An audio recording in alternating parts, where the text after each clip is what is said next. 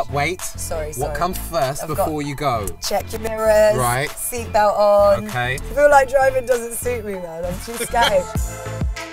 Something really weird happens when two people get to share a car journey. You know, you get relaxed, you say things about yourself, things you normally wouldn't share. I was like, I just want to have a show on primetime telly once, and I just want to be on a big radio station, and mm.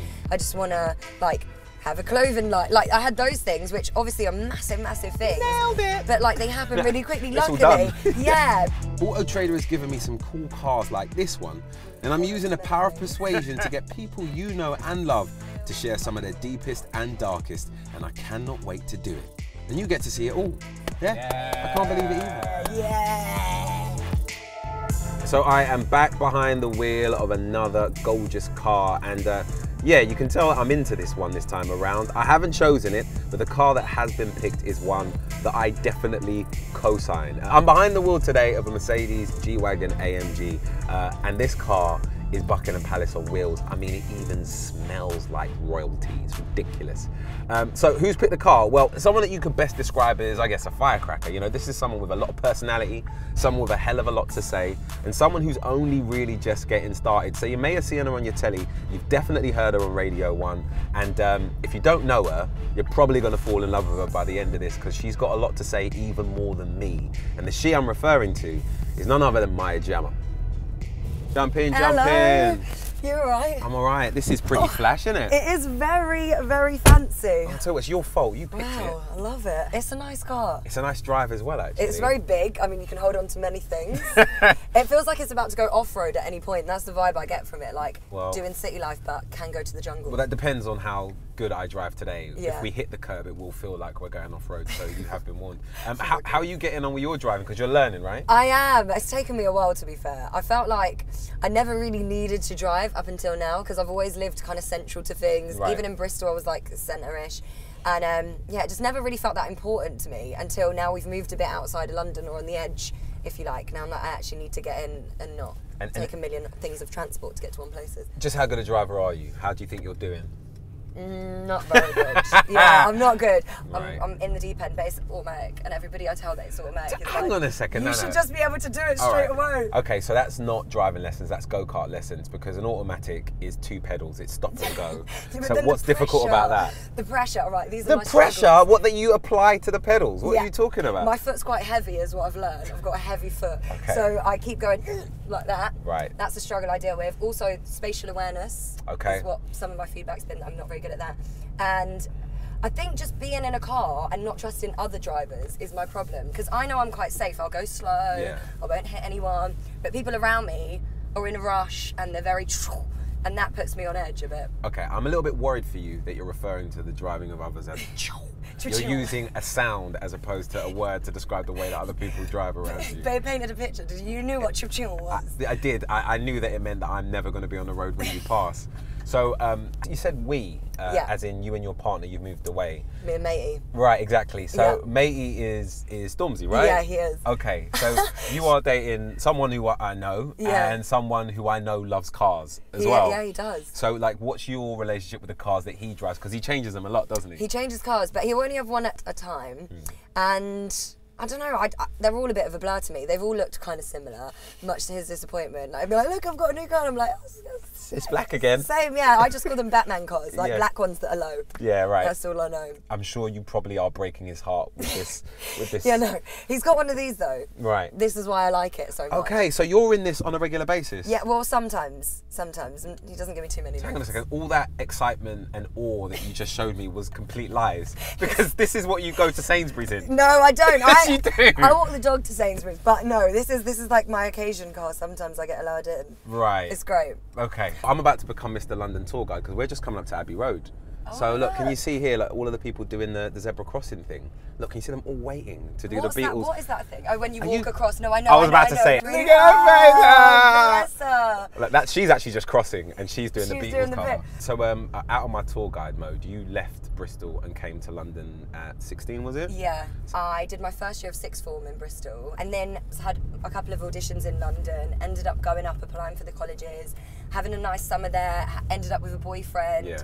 Everything's really amazing, and then literally in the summer holidays before I was supposed to start whatever college, my boyfriend at the time um, was murdered in Bristol. I don't really want to go into details, but he'd come down to Bristol for a carnival and then Yeah. there was like a shootout. He was nothing to do with it. But a bullet hit and he was caught in crossfire, Wow. basically. And that was like at the time, and still probably to this day, like the most devastating thing I've ever been through. How would you sort of articulate what came from such a traumatic experience at such a young age? Um, what came? So now I can look back, like however many years later, and think, okay, that that that happening made me super strong, and it made me super like compassionate, and it all these nice traits came out of it. But when you're going through it at the time, I Right. think you are literally just like, I don't want to be here anymore. This is the worst possible outcome in my life. Like, Yeah. delete me. So you you go through that like horrible stage. You go through just not really wanting to do anything, and then slowly you have to kind of come to terms with things and realize that this is like one of the worst things that can happen in life. But it, it is life. Like you don't always get to have people in your life forever. Some people go along the way, and some people are taken too soon. And I think him passing made me even well, it made me definitely want to move to London because I felt like everything I told him and everything I'd planned with him to like chase my dreams and do all of those kind of things that I definitely wanted to achieve at that point because Yeah. I was like, I'm going to do everything I said I would to make him proud and to, you know, like show everyone I can do it despite like Yeah. the horrible cards that have been dealt. So where, where is it all going for you? I don't what, even what's know, the what's the big ambition for you? I don't know because I feel like I had all my goals and all my little plans when I was younger written out and like prayed about constantly and just really like on it, on it, on it. This is what I want to do. But I don't think I like. Well, I did aim big, but I didn't aim like long term big. I was like, I just want to have a show on primetime telly once, and I just want to be on a big radio station, and I just want to like have a clothing line. Like I had those things, which obviously are massive, massive things. Nailed it. But like they happen really quickly. It's all luckily, done. yeah. But that like yeah. So I I need to recenter what I want to do. Like next, I kind of don't have a clue. I just want to master my crafts and get as good as I can and be like a respected Mm. presenter. So you've also made a documentary. Yeah. Now, uh, tell me a bit about that doc and um, if this is something you imagine yourself doing more of. I was quite naive and didn't really know what went into a documentary and didn't know how much of your like, especially if it's one to do with your personal life, how much it goes in physically and how like draining and how heavy it can be. Uh, especially when I did my one, which was about my dad, like growing up. Uh, he was in prison since I was really young, like from about three. Went from being like a prison dad documentary to like my own personal. Maybe am I going to meet up with my dad after not speaking to him for ten years? And it got really. Did you? Uh, yeah, I did. I did On camera? on camera, but you don't actually. So you, the camera's in the park, and you see like his back kind of thing. You don't see. I don't put his face on camera, and you don't hear the audio, but you see us like actually meet, and then I explain things after. What was which that was like? mad, yeah, so mad. But even that, like, I didn't go into it thinking that was going to be the thing. I went into it thinking, yeah, great documentary. I get to experience things. I've got my own personal view, and then next thing I know, it's like an actual massive Moment. milestone in my life Yeah. where I'm going to meet up with this man that's pretty much a stranger for the last 10 years. Um, and that was, yeah, God, it was mad. I think I had all these expectations.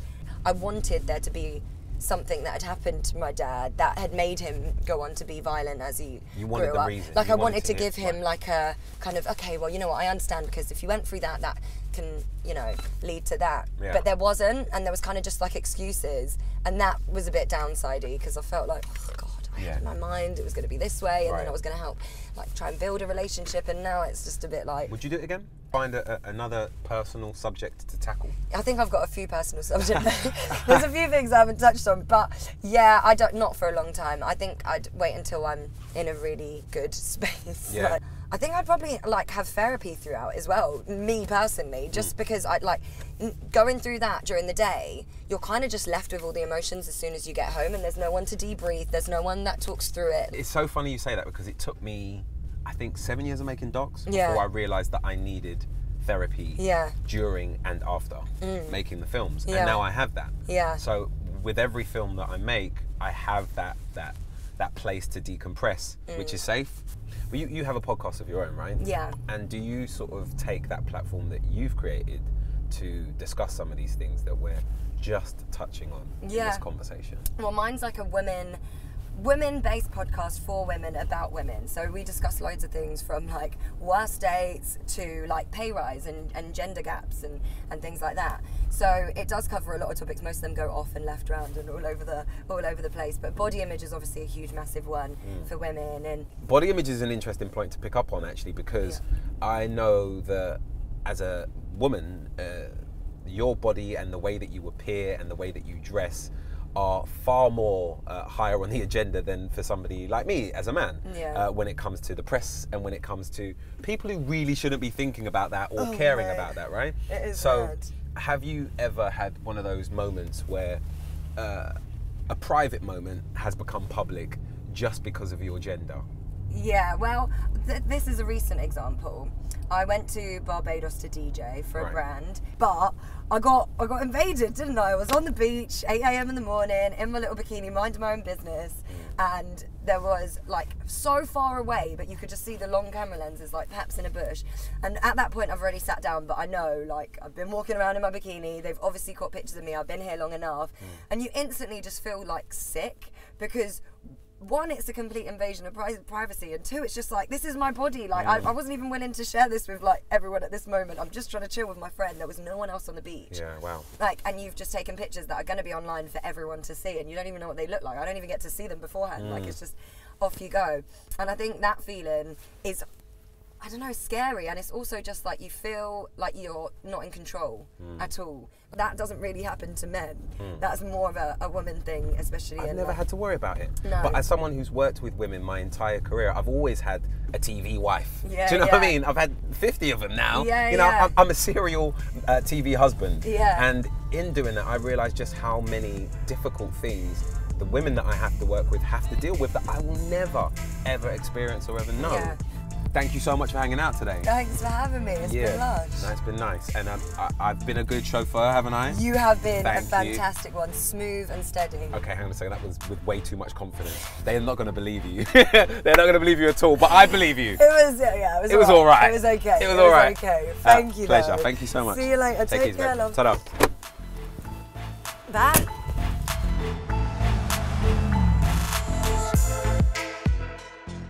Stop. Wait. Sorry, What comes 1st I've before you go? Check your mirrors. Right. Seatbelt on. Check your Right. handbrake. Yeah.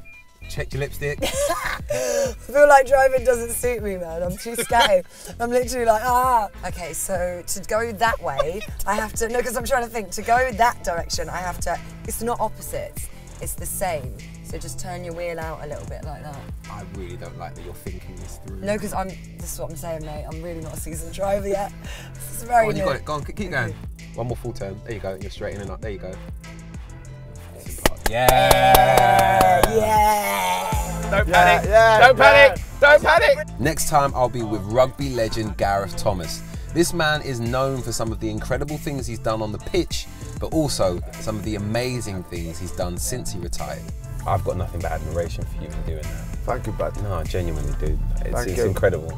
So, if you hit subscribe, you'll get more cool cars, you'll get more interesting people, and there'll be me too. Sorry about that. You can't have it all.